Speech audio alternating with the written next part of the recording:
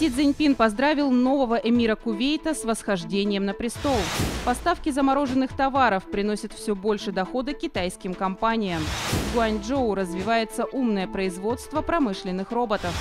Развитие киноиндустрии стимулирует экономику провинции Хайнань.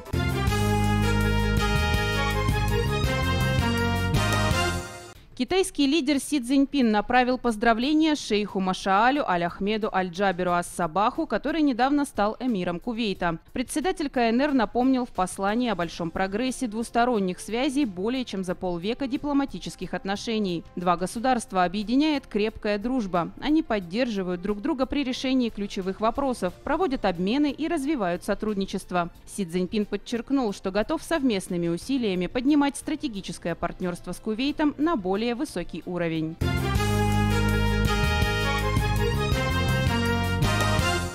Спрос на поставки замороженных товаров в КНР по итогам года составит 350 миллионов тонн, примерно на 6% больше прошлогоднего показателя. Таким прогнозом поделились китайские аналитики. Доходы отрасли вырастут более чем на 5% и составят 517 миллиардов юаней. Число грузовиков с рефрижераторами в Китае увеличится примерно на 13% за этот год и превысит 43 миллиона. Тем временем общий объем складов для замороженных продуктов возрастет более чем на 8% почти до 230 миллионов кубометров. Чтобы индустрия достигла новых высот, эксперты предлагают внедрять больше высоких технологий. Активно применяя передовые умные решения, мы сможем повысить прозрачность, эффективность и качество поставок замороженных товаров. В отрасли особенно востребованы технологии интернета вещей, больших данных и искусственного интеллекта. Не менее интересные перспективы открывают системы, позволяющие сопоставлять предложения со спросом,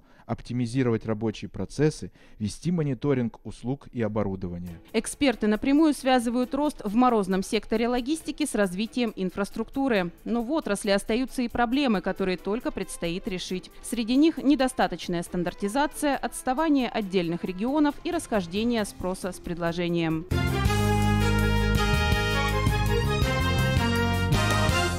Поднебесная почти 9 лет занимает первое место в мире по масштабам применения промышленных роботов. Все это время индустрия быстро развивается и активно внедряет инновации. Крупнейший китайский производитель промышленных роботов работает в Гуанчжоу, столице провинции Гуандун. Компания начала свой путь к успеху почти 30 лет назад. Тогда она выпускала в КНР роботов и сварочное оборудование для японской корпорации Panasonic. В то время у нас было очень туго с деньгами.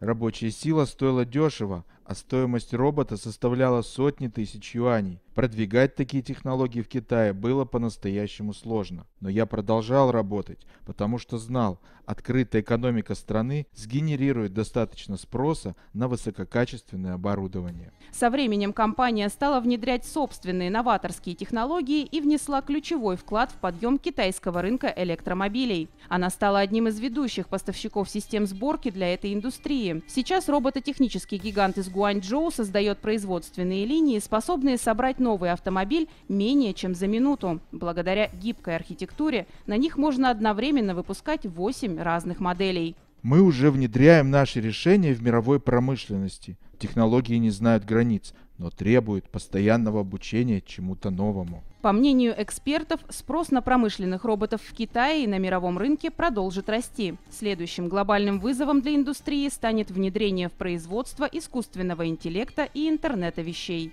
Нам нужно больше инвестировать в фундаментальные исследования. Местные производители не могут самостоятельно решить вопрос цифровизации. Им нужны алгоритмы, вычислительные мощности и специалисты по программированию. Поэтому важно понимать, какой вклад китайские технологические гиганты могут внести в модернизацию промышленности. Чтобы поддержать инновационные производства в Гуанчжоу, китайские власти создали отдельную зону технологического и индустриального развития. Она привлекла в город венчурный капитал и крупнейшие компании мира.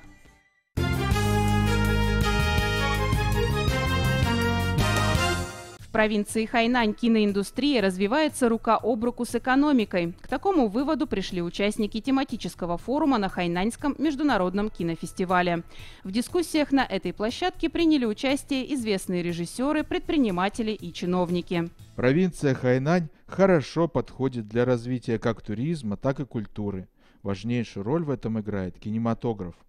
Я считаю, что международные обмены и продвижение киноиндустрии – отличная инициатива местных властей. Хайнаньский международный кинофестиваль организован на очень высоком профессиональном уровне. В этом году я встретила здесь много друзей. Это так здорово. Я люблю привозить французские съемочные группы в Китай. Они всегда открывают для себя что-то новое и часто удивляются тому, как здесь снимают кино. В программу Хайнаньского международного кинофестиваля также вошли форумы, посвященные технологиям в кинематографии и защите окружающей среды.